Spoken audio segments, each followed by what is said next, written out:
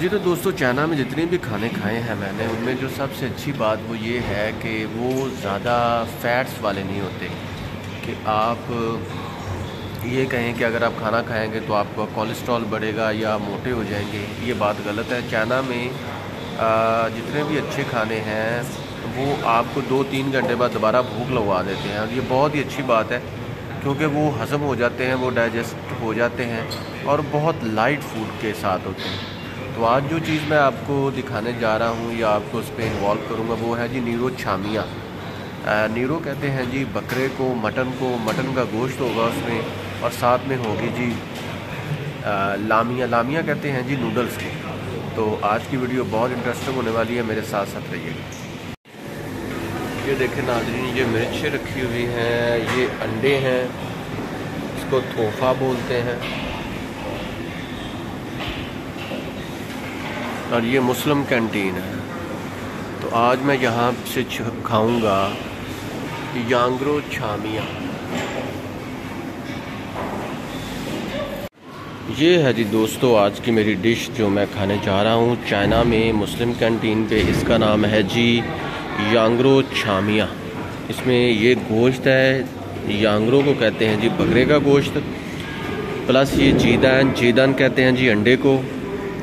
Plus plus ये है जी मियाँ। मियाँ कहते हैं, जिसे हम पाकिस्तान में कहते हैं ना, सवैया। उसको कहते हैं लामिया। ला बड़ा, लामिया।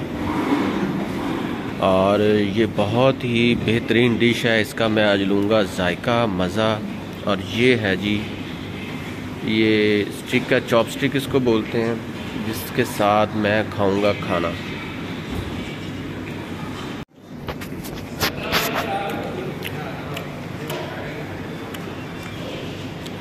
दोस्तों, जब मैंने चॉपस्टिक से पहला बाइट लिया तो यकीन करें, बहुत ही मज़ा आया। स्पाइसी भी है, लेकिन बहुत ज़्यादा डिलीशियस तो चाइना में चॉपस्टिक्स को पकड़ना भी एक बहुत बड़ा फ़न है, लेकिन ये मैं जान गया हूँ और बिलीव करें कि बहुत मज़ा आ रहा है। ये है जी कैंटीन का मंज़र। कैंटीन भी बहुत मज़े की है जी। लोग बहुत पुरसकून तरीके से खाना खाते हैं। और ज़्यादातर वो अपने मोबाइल्स के अंदर ही इन्वॉल्व होते हैं which is really a good thing और ये है जी मेरी यांग्रो छामी, और ये ऊपर अंडा है। नाजरीन, एक बात जो बहुत इम्पोर्टेंट है चाइना में। चाइना में ठंड बहुत ज़्यादा होती है, जिसकी वजह से लोग ज़्यादा गर्म चीज़ें खाते हैं। गर्म पानी, गर्म सूप। तो चाइना में जब कभी भी आपका इतफाक हो, छामिया या लामिया खाने का तो यू वुड फाइंड कि वो बहुत ज़्यादा हॉट हो और ये देखें कस्टमर जो हैं, वो लाइन अप है। अगर ज़्यादा कस्टमर हो रहे हैं तो वो लाइन में रहते हैं। ये भी एक बहुत अच्छी बात है विच आई लाइक इन चाइना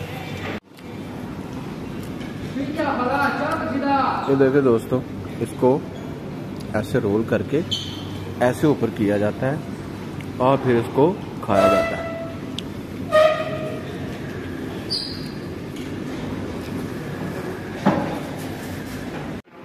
दोस्तों, एक चीज़ मैं बताना भूल गया कि चाइना में तो जितनी भी फ़ूड है, वो ज़्यादा ऑयली होती है। लेकिन ये मैनेज इसलिए कर जाते हैं क्योंकि ये एक्सरसाइज बहुत ज़्यादा करते हैं। जितना मर्ज़ी ऑयल हो, ये वो खा लेते हैं। आज के मेरे इस व्लॉग में मैंने बहुत ही मज़े की ये शामियाँ, नीरो शामियाँ खाई। तो अभी थोड़ी सी बाकी हैं, वो मैं फ़िनिश करूँगा। तो आई होप सो कि आपको आज का ब्लॉग बहुत अच्छा लगा होगा।